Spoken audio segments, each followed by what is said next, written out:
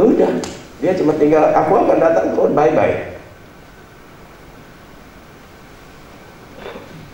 Waktu Yesus pergi ke surga, pergi terangkat ke surga, dia nggak nangis seperti di Taman Getsemani. Kenapa? Dia tahu bahwa setiap orang yang percaya akan menang. Tetapi ketika pencurahan Roh Kudus, ada Roh Kudus yang akan mendampingi mereka di mana pun, dari ujung sampai ujung. Dia tidak menangis, dia tidak bersedih ketika Yesus meninggalkan murid-muridnya dan terangkat ke surga. Namun dia berkata, damai sejahtera kuku tinggalkan bagimu. Dan damai sejahtera yang kuberikan tidak seperti yang dunia berikan. Dia cuma mengingatkan, di rumah Bapakku banyak tempat Kita akan lihat saudara kekasih.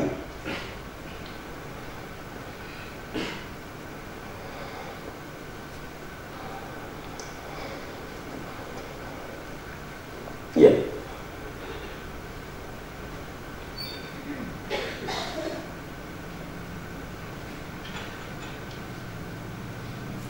Yohanes pasal 14 ayat 1 sampai 3. Yohanes pasal 14 ayat 1 sampai 3.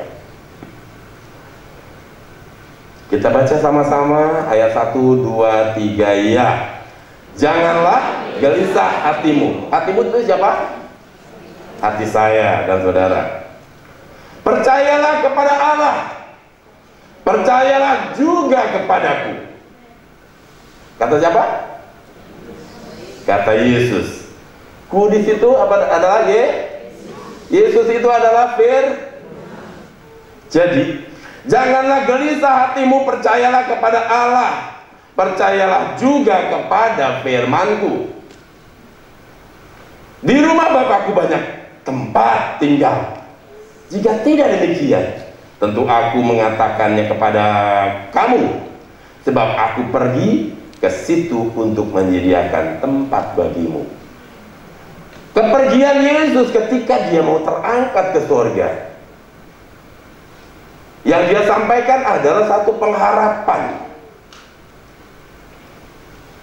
Di mana dia pergi akan menyediakan tempat untuk murid-muridnya. Dan murid-muridnya menceritakan kepada murid-muridnya. Murid-muridnya lagi menceritakan kepada murid-muridnya. Murid-muridnya lagi pergilah sampai ke Indonesia. Murid-muridnya lagi lah sampai ke kota Majalengka. Murid-muridnya inilah sampai juga ke tempat ini, ke gedung ini. Yaitu saya dan saudara.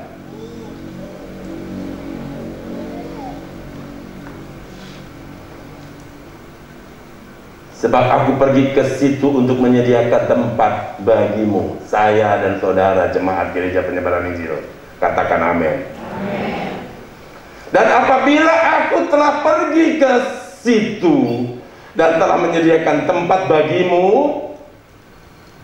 ini janji Tuhan lagi. Aku akan datang kembali dan membawa kamu ke tempatku supaya di tempat di mana aku berada, kamu pun berada.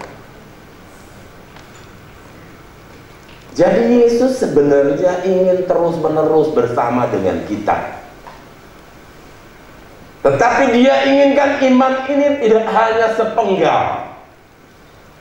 Tetapi dari iman yang bertumbuh. Kita menerima sesuatu yang baru dan kekal. Tempat ini bukan tempat kita. Tempat ini adalah tempat yang fana. Tempat ini, dunia ini akan segera hancur. Dunia ini akan segera dibinasakan. Dan Yesus memberikan satu perhatian secara khusus karena kasihnya kepada saya dan saudara. Supaya iman kita pengharapan kita tidak hanya sepenggal terpelihara di bumi saja. Dan dia berkata, dia juga berkuasa atas bumi ini. Dalam bentuk penyertaan kepada setiap orang percaya yaitu saya dan saudara. Dia tidak akan tinggalkan kita karena apa? Rohnya ada di dalam hati hidup kita masing-masing. Untuk apa? Untuk menyertai kita di dalam segala pergumulan. Ingat satu Petrus satu ya yang lalu satu Petrus 1 ayat 3 sampai 7 Kita buka 1 Petrus 1 ayat 3 sampai 7. Terpujilah Allah dan Bapa Tuhan kita Yesus Kristus. Yang karena rahmatnya yang besar telah melahirkan kita kembali oleh kebangkitan Yesus Kristus dari antara orang mati. Katakan amin. Kita dibangkitkan, kita sudah dilahirkan. Amin karena kebangkitan Yesus. Ya. Dari antara orang mati kepada suatu hidup yang penuh pengharapan. Hidup yang penuh pengharapan. Kenapa? Karena Yesus sudah naik ke surga. Itulah harapan kita. Di mana Dia ada, di situ pun kita ada, dan Dia akan jemput kita. Kita nggak, Tuhan nggak bilang gini. Udah ya, aku tunggu di surga ya. Kamu datang sendiri. Enggak. Yesus itu tidak seperti jalangkung. Datang tidak diundang, pulang tidak diantar. Yesus itu Allah yang bertanggung jawab. Sebelum kita sampai ke sana dia sudah mendahului kita dan dia menyediakan tempat. Kekhawatiran yang di Taman Getsemani tidak akan terjadi lagi. Kesedihan yang di Taman Getsemani seharusnya tidak terjadi lagi. Kenapa? Karena dia sudah berikan kemenangan. Karena dia sudah curahkan roh kudus untuk memimpin kita kepada segala kebenaran. Sehingga walaupun memang tidak mudah untuk berubah, dia hanya katakan perbaharuilah hidupmu dari hari ke sehari. Selagi masih ada waktu. Ya. Kamu menyiapkan diri di dunia ini untuk tetap tinggal di dalam kebenaran. Aku akan pergi ke surga menyediakan tempat bagimu. Dan ingat aku akan kembali. Aku akan menjemput engkau. Dia tidak membiarkan, dia tidak kita harus pulang sendiri yang nggak tahu tempatnya di mana. Kalau orang Sunda bilang ngatong, tahu ngatong. Di tempat yang gelap kita nggak tahu pintu di mana, kita nggak tahu di depan kita ada apa. Itu ngatong gitu ya. Sehingga kita apa namanya bisa tabrak sini, tabrak sana. Ya. Kita nggak tahu di mana pintu jalan keluar. Tidak, Malah dia bilang firmanku adalah apa? Terang bagi ya, pelita. Firmanku itu adalah pelita dan terang bagi jalanmu. Makanya dia bilang apa terus? Ayat 4 untuk menerima suatu bagian yang tidak dapat binasa, yang tidak dapat cemar dan tidak dapat layu yang tersimpan di sorga bagi kamu. Terus lima, yaitu kamu yang dibiarkan. Oh, yaitu kamu yang dipelihara dalam kekuatan Allah karena imanmu. Dalam kekuatan Allah itu apa? Kekuatan kebangkitannya. Kita tidak dibiarkan sendiri, tapi dipelihara dalam kekuatan Allah. Karena imanmu, sementara kamu menantikan keselamatan yang telah tersedia untuk dinyatakan pada zaman akhir. 6. Apa dia bilang? Eh, bergembira Haleluya. Bergembiralah akan hal itu. Sekalipun sekarang ini kamu seketika seketika itu sebentar. Kamu seketika harus berduka cita oleh berbagai-bagai pencobaan. Kita di dunia ini sementara, seketika, sebentar saja. Bergembiralah Kesusahan kita hanya sementara.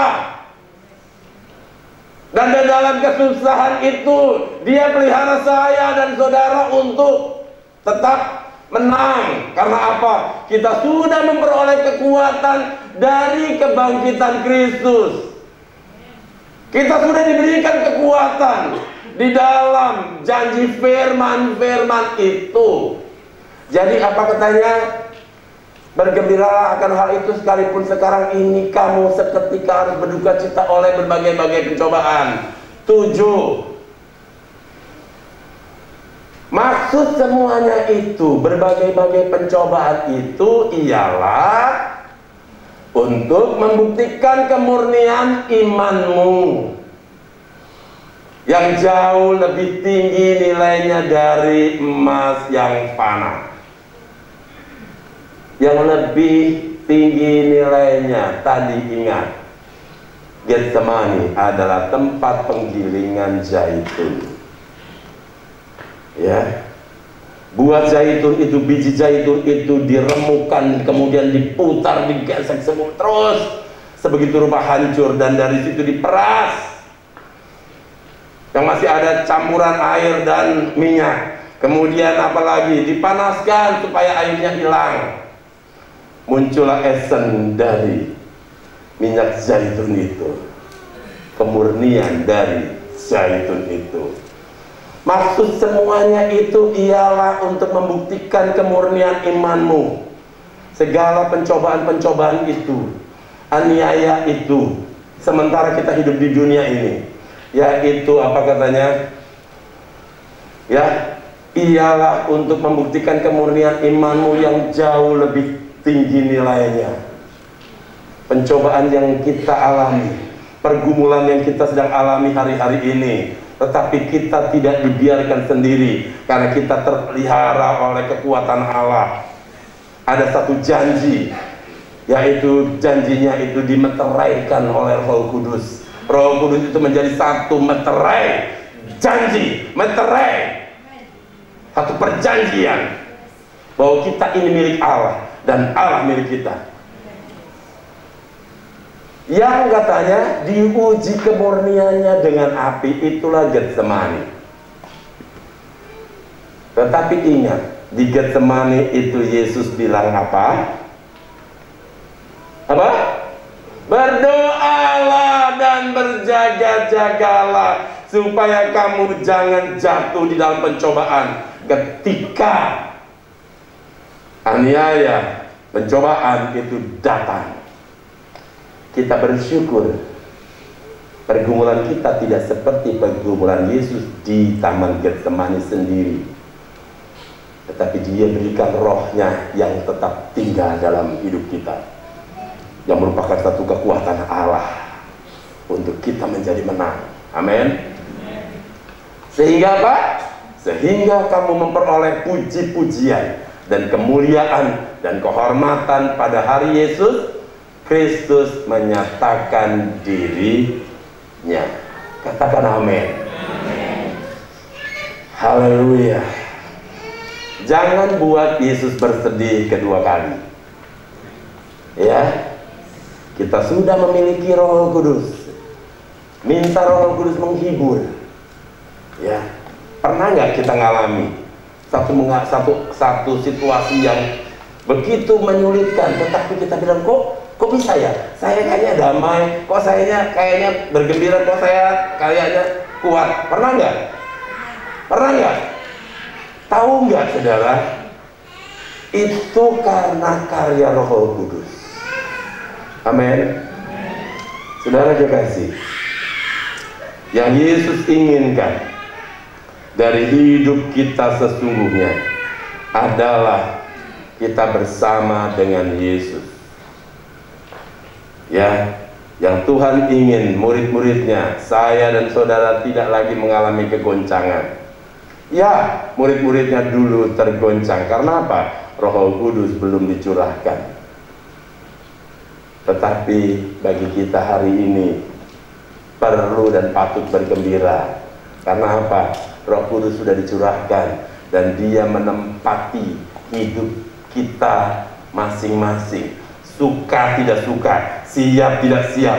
Setiap mulut yang mengaku Kristus adalah Tuhan, Roh Kudus dengan sendirinya akan tinggal di dalam orang itu. Sekarang tinggal satu langkah berikutnya adalah ikuti nasihatnya, ikuti perintahnya. Ya, saudara kekasih, kita akan kembali lihat ke atas. Apa yang Yesus bilang? Ya di dalam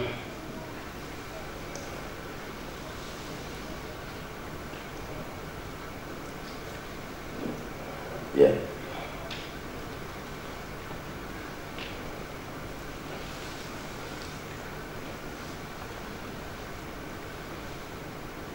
Kita lihat di dalam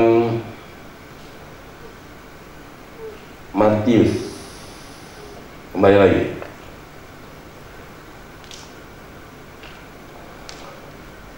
Matius 26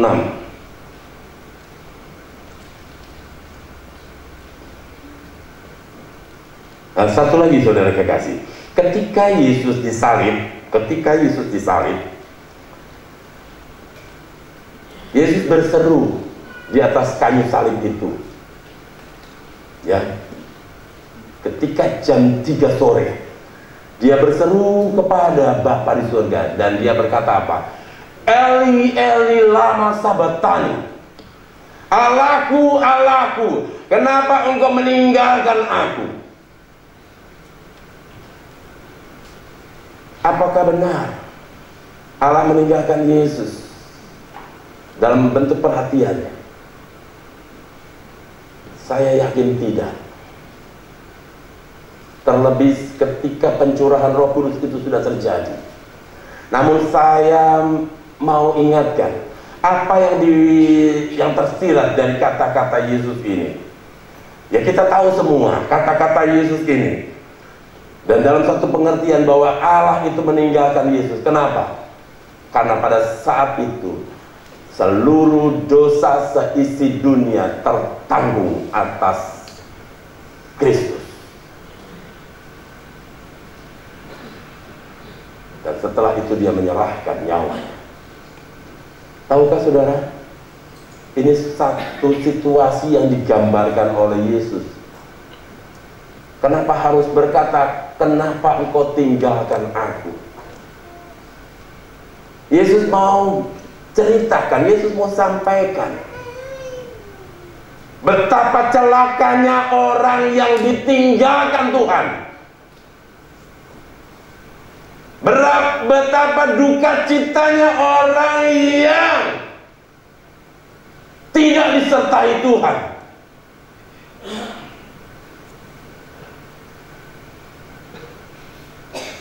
Yesus sudah sampaikan. Yesus sudah mengundang murid-muridnya. Dia bawa ke taman Getsemani untuk berdoa bersama. Hari ini mungkin Yesus secara fisik tidak ada bersama dengan kita untuk berdoa. Tetapi di dalam satu keyakinan iman kita, kita berseru kepada Tuhan Yesus seperti apa yang Yesus bilang Jikalau kamu berdoa di dalam namaku Dua tiga orang menyebut namaku Aku hadir Dua tiga orang sepakat meminta apa saja Kamu akan doamu akan dikabulkan Walaupun secara fisik Yesus tidak ada Tetapi rohnya akan tetap bersama dengan kita seumur hidup kita. Amin. Ajaklah, mari kita berdoa di dalam roh dan kebenaran. Ketika kita berkata-kata di dalam bahasa roh, saudara mau tidak mau, siap tidak siap, siap. Roh itu akan membangun iman kita. Iman kita itulah yang akan menghadapi semua pergumulan. Iman datang dari mendengarkan firman Tuhan. Kedua, iman itu akan dibangun ketika kita berkata-kata di dalam bahasa roh. Ya, saudara, sebagai ayat yang terakhir,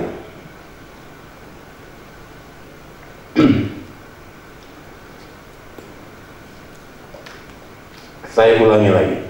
Dari ayat Yohanes 14 ayat 1 sampai 4. Jangan gelisah hatimu. Percayalah kepada Allah, percayalah juga kepadaku. Ku di sini adalah Yesus. Yesus adalah firman. Percaya kepada apa yang dikatakan firman Tuhan. Di rumah Bapakku banyak tempat tinggal. Jika tidak demikian, tentu aku mengatakannya kepadamu. Sebab aku pergi ke situ untuk menyediakan tempat bagimu. Dan apabila aku telah pergi ke situ, Yesus sudah pergi? Katakan sudah. Dan telah menyediakan tempat bagimu. Katakan sedang. Aku akan datang kembali dan membawa kamu ke tempatku. Katakan amin. Supaya di tempat di mana aku berada, kamu pun berada. Katakan saya pun berada di sana. Ayat 4. Dan ke mana aku pergi, ke mana? ke surga. Ya? Yesus naik ke surga? Kamu tahu jalan ke situ. Jadi kita tahu. Kita nggak akan bilang mudah-mudahan saya masuk surga. No way. Nggak ada caranya begitu. Tetapi kita pasti bilang, yes I know. Ya saya tahu. Jalan ke situ, jalan ke surga. Jalannya melalui apa? Yesus Kristus apa? Yesus Kristus adalah firman Tuhan. Untuk sampai ke surga, jalannya adalah lakukan apa yang dikatakan oleh firman Tuhan. Tahu nggak? Tahu? Bisa kita baca? Oh Yesus bilang akulah jalan, kebenaran dan hidup. Tidak ada seorang pun sampai kepada Bapa kalau tidak melalui aku. Ya, Yesus sudah ada di sorga. Tidak ada seorang pun sampai ke sorga kalau tidak melalui aku. Aku itu adalah Yesus. Tidak ada seorang pun sampai ke sorga kalau tidak menjadi pelaku-pelaku fir. Nah, itu artinya. Amin. Jadi kita bisa sampai ke sana tahu ke sana jalannya apa? Lakukan firman. Amin. Tahu ya? Keselamatan kita masih mudah-mudahan. Insya Allah. Kalau Tuhan izinkan. Lalu gimana Tuhan izinkan? Tuhan sudah siapkan dan Tuhan berikan. Udah pasti Tuhan izinkan. Dan dia sedang menyediakan tempat untuk kita. Amin. Haleluya. Katakan amin. Bilang sama sebelahnya, kita ketemu di sana ya. Haleluya. Amin. Ya, ingat ingetin. Ingetin sesamanya. Siapa yang mau pergi ke sana? Siapa yang mau duluan?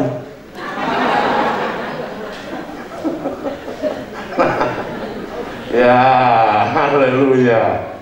Kenapa? Karena kita masih, oh anaknya masih, anak kita masih kecil-kecil, sudah gede, sudah gede, dia punya anak. Aduh cucu saya masih kecil, udah gede lagi. Anak cucu saya masih kecil. Tetapi apa yang Paulus katakan, hidup itu adalah Kris. Hidup itu adalah lakukan firman Tuhan. Dan kematian itu adalah keuntungan. Ya, semua orang pasti mati. Jadi nggak perlu, ah kamu duluan. Ya udah saya ingin cepet-cepet, udah minum baygon. Nggak begitu. Ya tunggu waktu aja. Amin. Saya duluan atau Bapak Ibu duluan? Pemakaman jangan takut, kita punya. Kayaknya cukup untuk kita semua.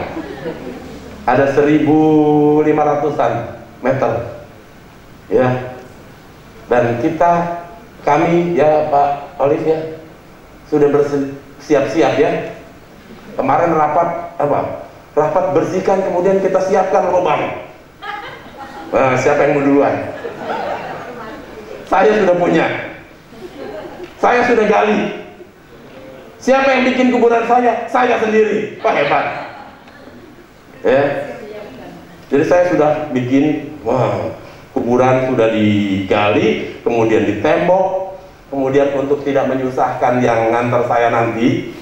Jadi jemaat Tuhan nggak usah susah-susah gali tanah yang keras karena kuburan saya sudah diisi pasir. Jadi untuk ngeruknya untuk ngegalinya gampang. Saya janjian sama istri saya. Kita berdua ya. Hmm, begitu. Haleluya ya.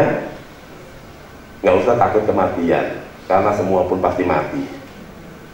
Oh tapi saya sehat. Untuk mati nggak harus sakit. Saya masih muda untuk mati tidak harus tua itu sebabnya siap siap-siap berjaga-jaga nggak usah takut orang lain ya kita agak rohani dikit lah ya orang lain takut mati karena dia nggak tahu masuk surga apa enggak kita takut mati, nggak siap mati karena anak-anak masih ada yang kecil-kecil, ya. Kekhawatiran kita pasti kita taruh di situ. Sama saya juga sempat khawatir ya. Anak-anak gimana kalau saya nggak ada? Ya, tetapi Roh Kudus ingatkan, ingatkan saya lagi. Memangnya kamu bisa apa jaga anak-anak? Oh saya ingat, oh iya. Nggak mungkin kan saya ikutin anak-anak ke mana-mana gitu kan? tetapi di dalam hidup anak-anak keturunan kita ada roh kudus yang akan memimpin, membimbing, membawa mereka kepada kebenaran amin haleluya jadi nggak usah rebutan ya tetapi ya selagi kita hidup hiduplah menjadi pelaku firman kalau kita mati ah itu keuntungan karena kita dapat tempat yang bagus ya kalau tempat di pemakaman GPI hanya dipatok berapa kemarin ya satu meter kali dua meter, nggak boleh lebih. Tapi di sana firman Tuhan bilang, Yesus bilang, di sana banyak tempat. Mau milih? Mau milih duluan? Haleluya. Tapi satu hal yang kita, yang Yesus inginkan, apa? Jangan membuat Yesus sedih lagi. Amin. Kita sudah tahu jalan untuk masuk surga. Amin. Kita sudah dibimbing dan dipimpin, diberikan kekuatan oleh Roh Kudus. Katakan amin. Saya tidak akan lemah. Katakan, saya tidak akan lemah. Saya pasti kuat. Karena saya dipelihara Tuhan. Oh, yang pelihara kita bukan ecek-ecek. Yang pelihara kita ini adalah kekuatan Allah yang menciptakan alam semesta. Yang ciptakannya nggak susah-susah, nggak usah harus, wah enggak Allah menciptakan hanya bilang apa? Jadilah, jeng jadi. Dia ingin sesuatu, jadilah, jeng jadi. Sama juga dengan permasalahan kita hari ini. Kalau Allah menghendaki sesuatu, pasti tidak akan sulit. Amin. Haleluya. Ada yang saudara gumuli?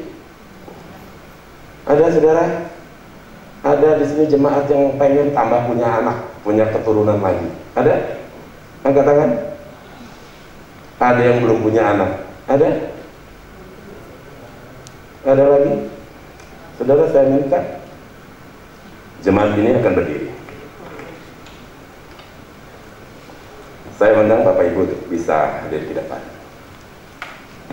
Ya, uh, Pak Teddy, Pak Cijoan, Pak Olive, Besna, okay.